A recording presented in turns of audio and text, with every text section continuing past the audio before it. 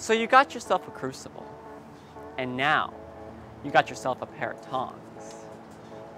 But you realize to yourself, how am I going to melt the metal? I mean, you could put it on the stove. It's not melting. It's not melting. But I got a better idea. You need to get yourself one of these. A metal melting machine. Let's get started.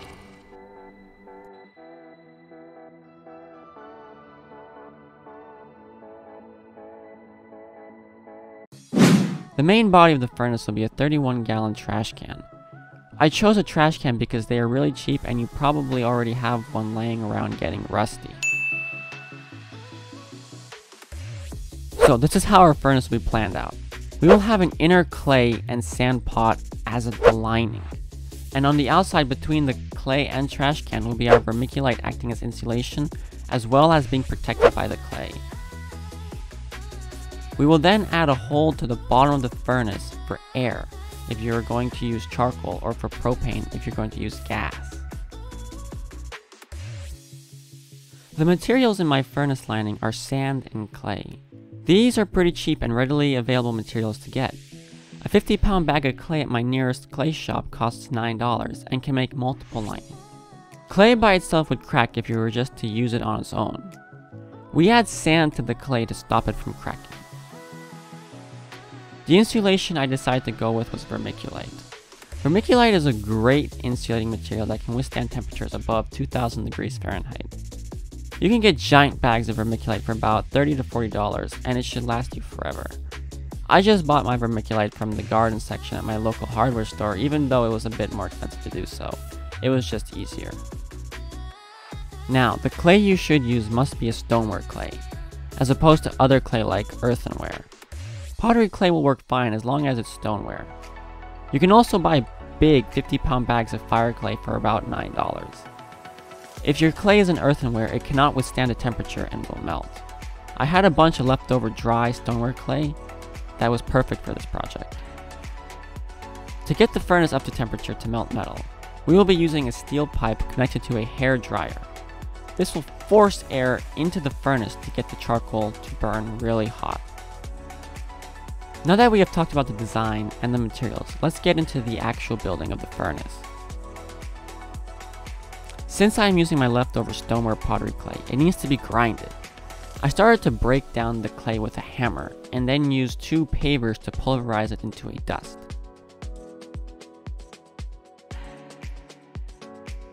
I used a quarter inch mesh to filter the smaller grinded particles from the larger ones.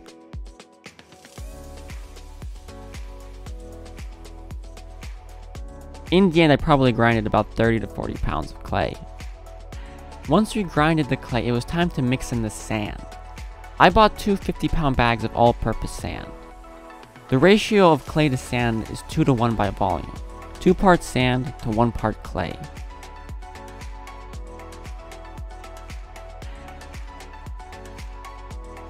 Once the sand and clay are mixed, we need to add water. Now, don't add too much water. We just want this mixture to hold itself together without being wet. You should be able to squish the clay in your hand and have it break apart cleanly. This is the consistency you want. I did all my mixing in an old kiddie pool. It worked perfect for this job.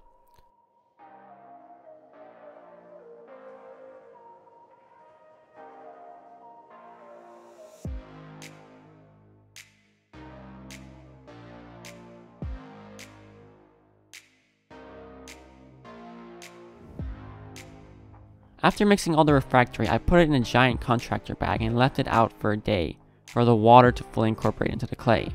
In the end, you should have about 140 to 150 pounds of this refractory material.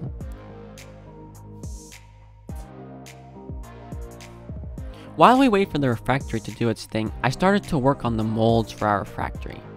But before starting, I made some measurements of the trash can. I placed a few bricks on the bottom of the trash can to raise it higher off the ground. The bottom diameter where I placed the bricks is about 18 inches. The top diameter of the trash can is 20.5 inches.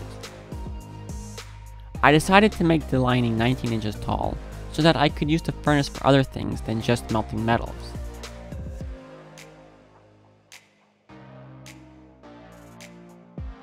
I used quarter inch hardware cloth for the forms. Hardware cloth is really quite cheap and I had a lot left over from other projects. The idea for the mold is to make two concentric shells, which will hold the refractory in between them. I made my shells with the taper to try to match the taper of the trash can, but that ended up being a bad idea, and if I were to do it again, I would have made them straight. The thickness of the lining that I went with was about 1.5 inches. 1.5 inches just seemed reasonable because I did not want the furnace to weigh a thousand pounds. For the insulation, I wanted to have about 2 inches of vermiculite surrounding the trash can for maximum insulation. Since I was going for 2 inches of insulation, the outer bottom diameter of the lining needed to be 14 inches. Since I decided to go for taper, I made the top outer diameter 16 inches. After I got all the dimensions calculated, I started to cut the mesh. I used an old pair of dull scissors that I had laying around to cut the mesh and it worked out nice. As I was cutting the mesh, I didn't wear any gloves and I got cut a bit, so I would recommend wearing gloves for this part. I cut out the inner mesh, the outer mesh, and a 16 inch circle for the bottom of the mesh. I attached all these pieces together using some steel wire. After attaching the pieces of mesh together, we should have something like this.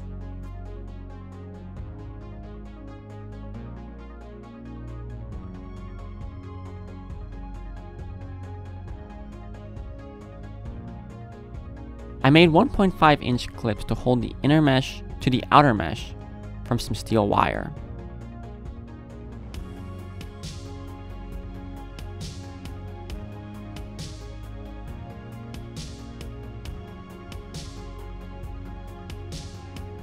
To make the lid, I cut a 16 inch in diameter circle for the base.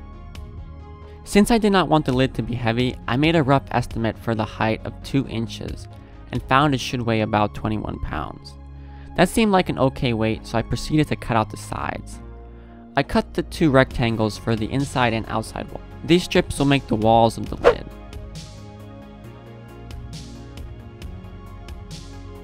I then attached the two strips to the circle with steel wire.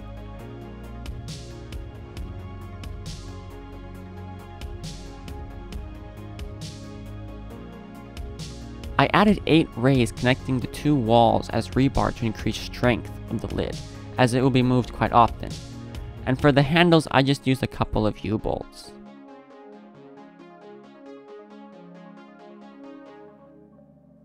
Now that we made the frame for the lid and the lining, it's time to stuff them with the refractory material. I first started with the lid to get a feel for the process. I started to add the refractory to the lid and compact it as much as I could. It's really important to try to get it as compressed as possible. As I compressed the material, I made sure the handles were placed in the correct spot, because after the refractor dries, it's almost impossible to drill into it as it cracks.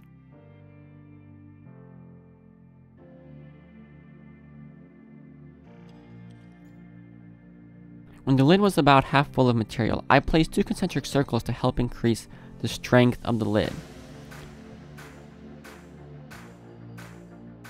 After compacting the material, I smoothed out the top and let it dry in a shady, cool place.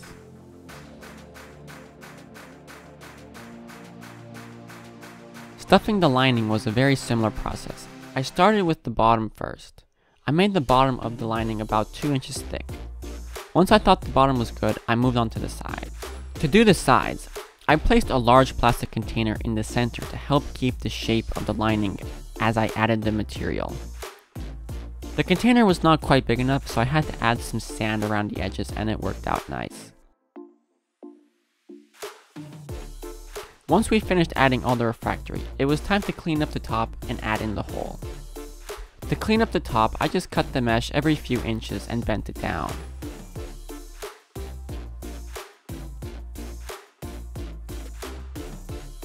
I used a few U-shaped pieces of steel wire to hold it in place.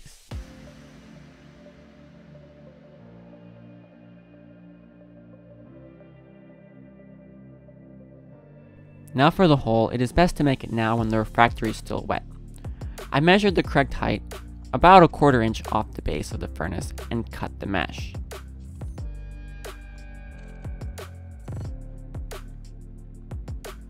I used the air pipe to cut the hole.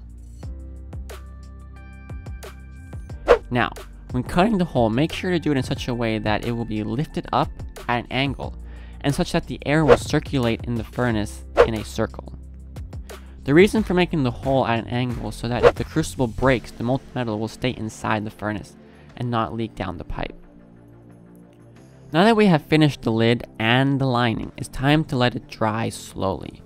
I let mine dry slightly covered for about 3 weeks in a cool shady place. After 2 weeks I came back to it and lit a small fire inside to make sure it was dry.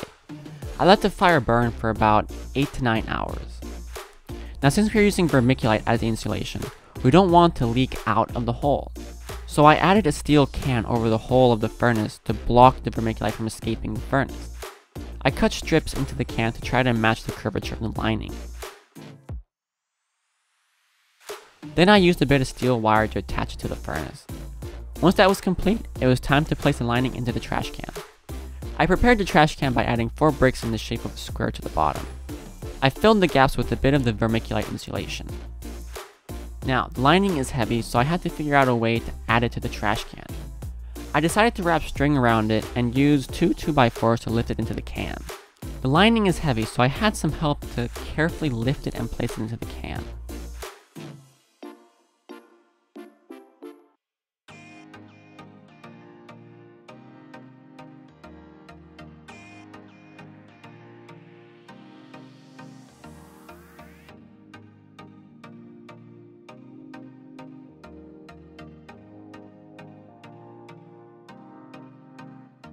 Once it was in the can, I moved it into the center and marked around the tin can with a sharpie for the hole. We then had to remove the lining from the can to make the hole. To make the hole into the can, I just drilled a few holes around the markings and used a pair of tin snips to cut away the can.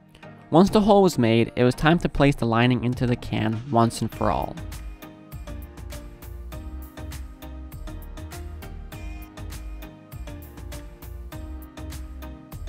I decided to duct tape the end of the tin can to the trash can, as it's easy and should not get hot.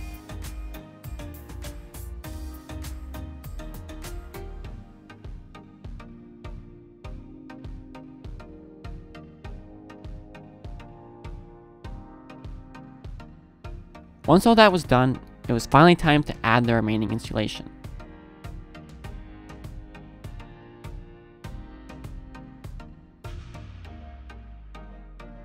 Adding in the rest, make sure to compact it as best as you can to fill in all the empty space. Once we finished that, the furnace was complete. Now that it was complete, I did its first burn.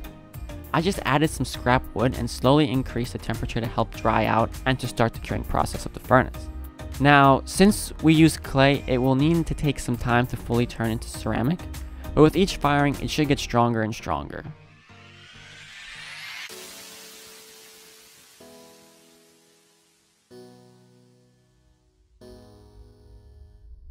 The insulation in the furnace so far seems to be working very well. Right now it is about 2000 degrees inside the furnace and I am able to touch the body of the furnace with no problem. It barely even feels warm. It's mind blowing that there's only 4 inches of material keeping my hands safe from the intense heat of the furnace. I am really surprised how well it worked. Now, I made the height of the furnace just tall enough to allow the original steel lid of the trash can to still go on. But don't put it back on right away after your melt, as the lid will conduct the heat to the body and superheat it. Place the original steel lid back on after it has cooled down for about a day. Oh, and one last thing. I want to talk about fuel, more specifically charcoal. Since I believe most of you will be using charcoal as your first fuel, I wanted to discuss it. When you go online and search which charcoal is best, people will most likely tell you lump is the best to use. And it's true. Lump charcoal burns much hotter than briquettes, but there is a problem. Lump charcoal is much more expensive than briquettes. So I was like, why not use both? Lump and briquettes. I used the briquettes to get the fire initially started, like to 1200 to 1300, and then add the lump to get to my target temperature. That way you save money on your lump charcoal by not having to use it in the initial heating. And there you go. A super easy furnace for your metal melting adventure.